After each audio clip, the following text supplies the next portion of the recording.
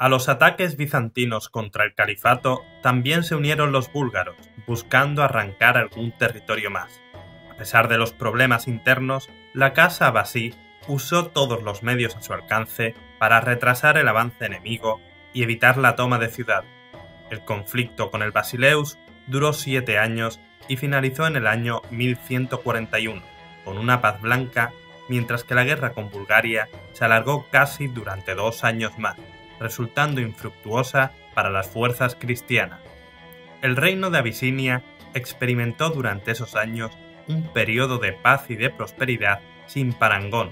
Se erigieron mezquitas, se fundaron poblados y asentamientos, y se mejoró la red de carreteras siguiendo el modelo romano.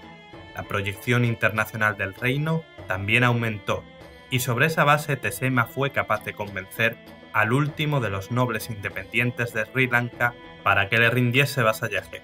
A pesar de que en el año 1136 se dio la unificación de la isla, en la práctica Sri Lanka estaba dividida en dos.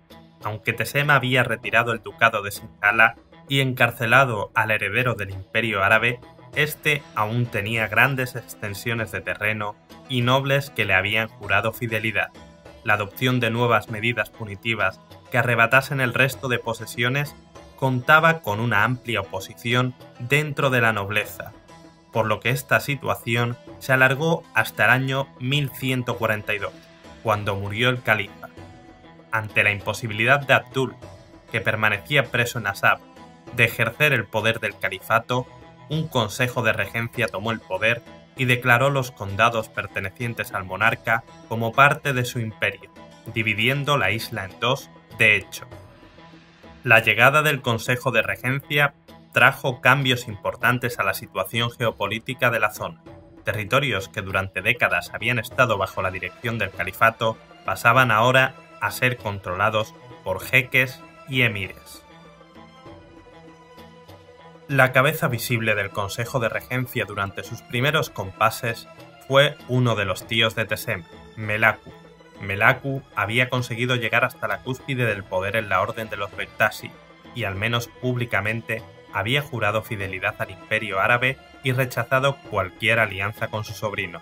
El Consejo de Regencia se extendió durante siete años y finalizó en el año 1149, con la muerte de Abdul en Asad.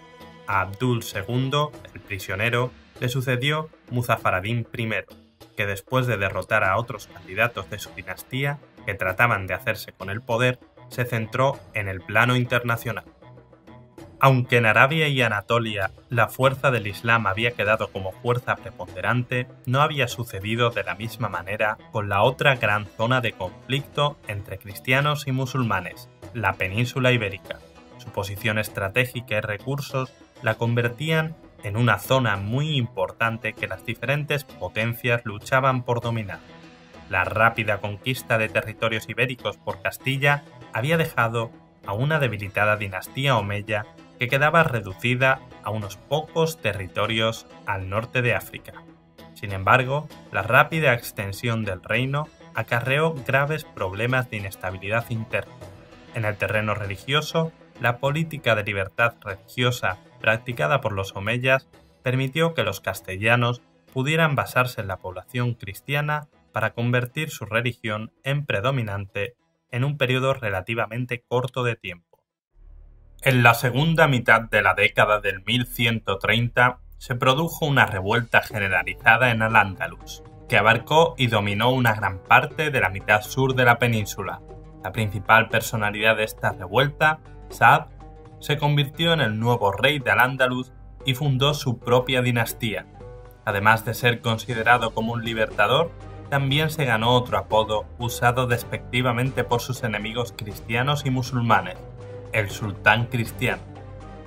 Aunque ganó algunos territorios en el norte de África, su existencia pronto se vio amenazada seriamente. Con menos de dos décadas de vida, el nuevo reino tuvo que hacer frente a una amenaza que podía provocar su fin. En el año 1154, el califa declaró la yihad por Andalucía, iniciando una alianza insólita entre los omeyas y abasidas, que uniría a muchos otros reinos en una campaña que duró cuatro años. La victoria de los ejércitos musulmanes fue completa y los territorios del reino cristiano del Andalus pasaron a las manos de un príncipe omeya. Abisinia permaneció al margen de conflictos tan alejados para centrarse en la política interna y en reforzar a sus aliados estratégicos. Desde la década del 1140, Tesema trató de equipararse militarmente y económicamente al imperio árabe. Unos años después de la coronación del califa Muzaffaradín I, en 1146, promulgó una reforma para aumentar sus poderes en el reino, invistiéndose como el primer emperador de Abisinia, con la potestad de nombrar virreyes que actuarían en su nombre. La política exterior de este periodo se caracterizó por la no participación en la yihad, a la vez que se apoyaba militarmente la campaña del sultanato tunecino de Maxen, que en una campaña que duró entre el 1151 y el 1159 arrebató casi todos los territorios al recientemente independizado Emirato de Trípoli. Con el sultán de Maxen agradecido y un imperio más sólido, Tesema daba un paso más y se preparaba para la inevitable confrontación entre los dos imperios, que no desaparecería hasta la decadencia de una de las casas que lo sustentaban.